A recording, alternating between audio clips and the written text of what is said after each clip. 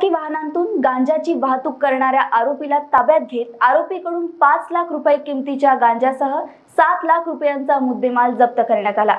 ही कारवाई शहर पोलिसांनी राष्ट्रीय महामार्ग क्रमांक सहा वरील बेलाड फाट्यानजीक केली. त्रेचाळीस वर्षीय गोपाल आनंद कुमार जयस्वाल राहणार कालीकुर्ती जालना.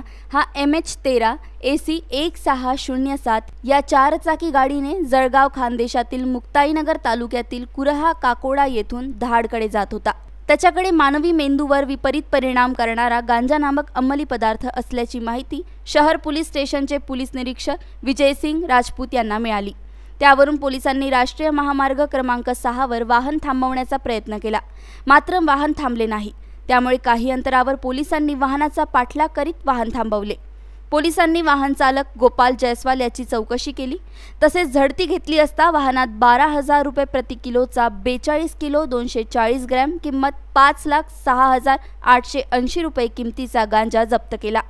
आरोपीला वाहनांसह ताब्यात घेतले. ही कारवाई डीबी पथकाचे सरपोलीस निरीक्षक सुखदेव भोरकडे ईश्वर वाघ संतोष कुमावत प्रमोद राठोड आसिफ शेख अनिल दागोर सलीम बर्डे सहभागी झाले.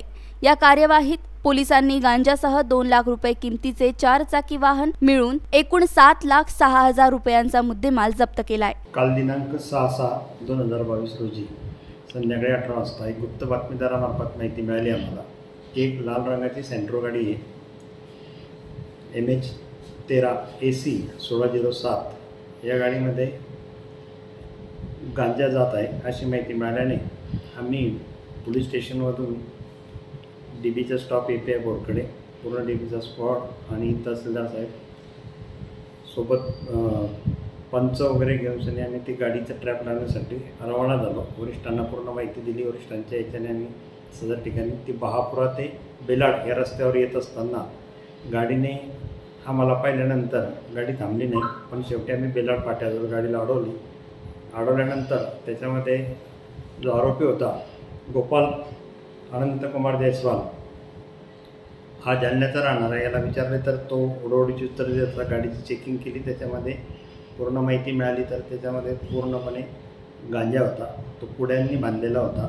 विमलच्या पिशवींमध्ये त्याला ठेवलेला होता. त्याच्यामध्ये पूर्ण खात्री केली. बोलून बघितले तो उग्र वास आला तिथेच दोन पंचांसमक्ष वगैरे पुढची जी कायदेशीर कारवाई ती करण्यात आलेली आहे. सदर याच्याप्रमाणे पोलीस स्टेशनला N D P S act आठ क वीस ब प्रमाणे गुन्हा दाखल करण्यात आलेला आहे.